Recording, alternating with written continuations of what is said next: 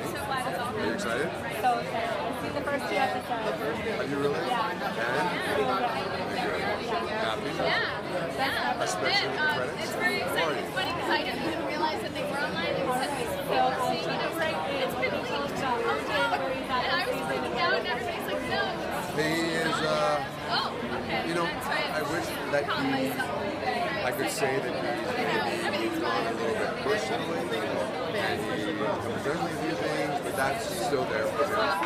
Um, he basically is uh, think, I think that's the, standing by and, one thing and being that that's sort of encompassing force of him and his daughter. You know, she's no there to help him So not being able to actually say it and talk about it, Figure and whatever. the fact that this show is happening, Um, do you see any favorite moment or then episode it's from what you shot so far?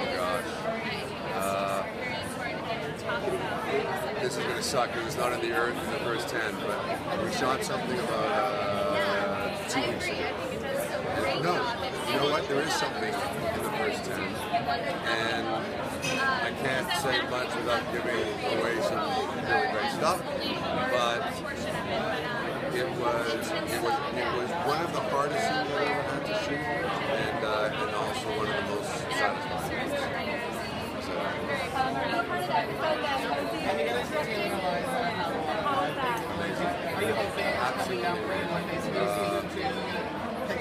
know, being directed by a friend, I was so jealous about all of their, um, their like jujitsu training and oh my gosh, and their knife throwing.